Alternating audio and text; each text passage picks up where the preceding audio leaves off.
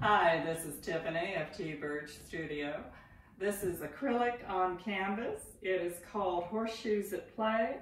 It has gold, red, black against the canvas. It has never been shown in public, hasn't made it to the website yet. Shoot me an email through my contact page and go to artworksbytiffany.com.